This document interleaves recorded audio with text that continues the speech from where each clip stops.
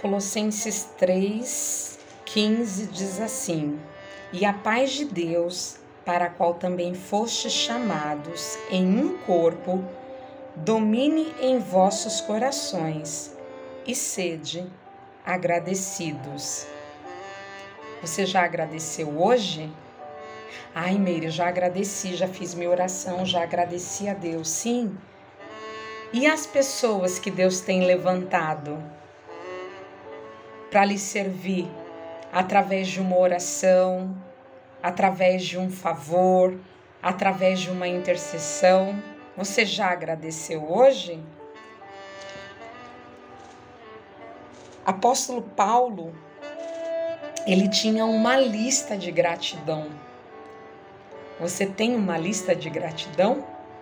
Às vezes nós temos a lista da reclamação, a lista da indignação, a lista da frustração, mas nós não temos uma lista de gratidão. Você tem uma lista de gratidão? Você já agradeceu hoje? Você já agradeceu aquela pessoa que Deus tem levantado? Talvez não faça como você gostaria, porque isso é muito complicado.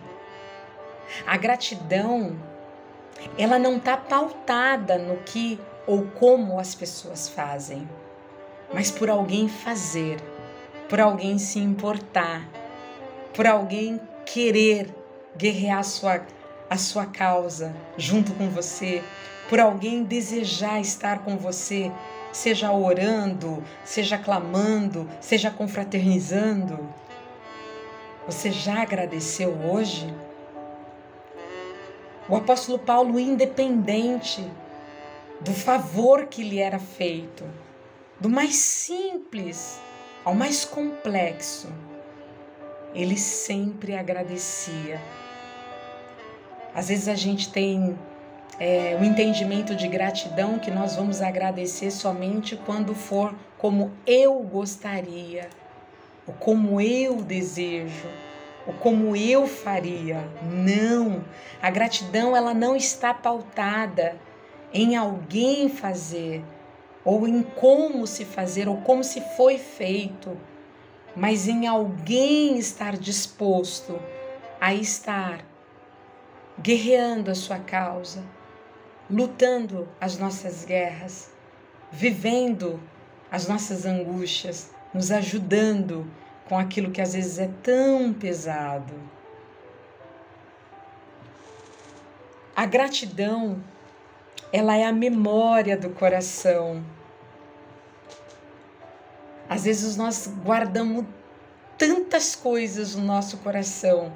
As mágoas, os rancores, as insatisfações, as perdas, as frustrações, mas nós não temos guardado no nosso coração pessoas que Deus tem levantado para poder nos ajudar, que o nosso coração ele venha até essa memória daquela pessoa que um dia na madrugada fez-lhe uma campanha, daquela pessoa que um dia parou para poder lhe ouvir, daquela pessoa que um dia é, fez uma campanha com você, daquela pessoa que um dia é, lhe mandou uma mensagem, daquela pessoa que um dia deixou de fazer qualquer coisa para poder estar junto com você.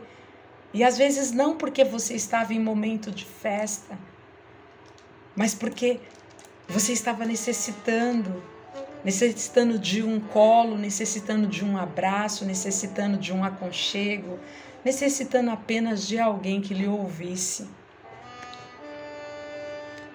Mantenha a porta da gratidão aberta. Às vezes, porque nós somos tão ingratos reclamamos com aquele que fez, porque não fez do jeito que eu queria, porque não agiu da forma como eu agiria, porque não falou da forma como eu falaria. E às vezes nós machucamos essas pessoas, nós ferimos pessoas, nós magoamos pessoas. E aí nós vamos fechando, fechando a porta que Deus tem aberto para que outros se acheguem.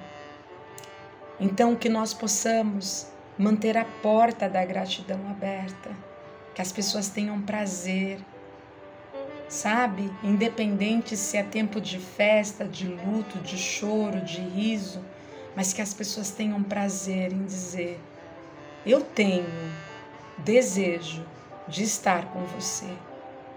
Eu sinto alegria, eu sinto prazer em estar com você. Que nós possamos manter a porta da gratidão aberta. Seja mais grato às pessoas que facilitam a tua vida.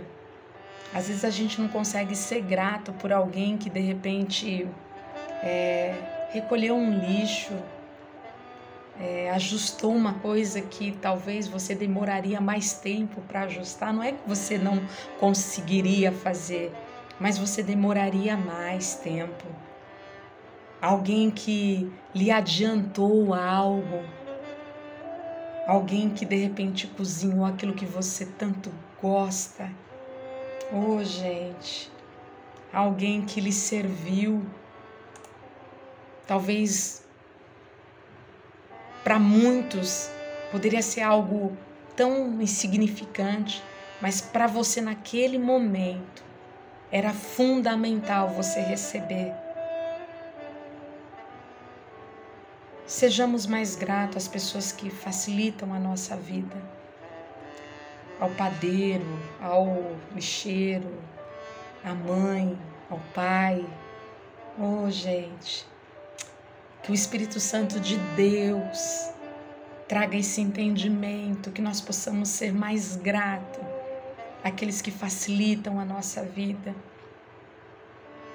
Às vezes a gente fica tão cheio, tão cheio das coisas que ainda não deu certo, não deram certo, ou daquilo que nós estamos almejando viver, que nós vamos derramando amargura em cima de pessoas que têm facilitado o nosso dia a dia, em cima de pessoas que às vezes para para poder ministrar uma palavra de Deus, para ministrar um conselho. Que nós possamos ser gratos por aqueles que têm se levantado de joelho a nosso favor, em favor da nossa casa, da nossa família, da nossa vida. Que nós possamos ser gratos por aqueles que têm se levantado com as mãos para nos ajudar, para nos acolher, para nos direcionar. Que nós possamos ser mais gratos a estas pessoas, porque essas pessoas facilitam a nossa vida, facilitam o nosso dia a dia. E para terminar, só é grato a Deus. Quem sabe ser grato a pessoas. Às vezes nós temos uma gratidão externa, sabemos até ser grato fora, mas não conseguimos ser gratos dentro.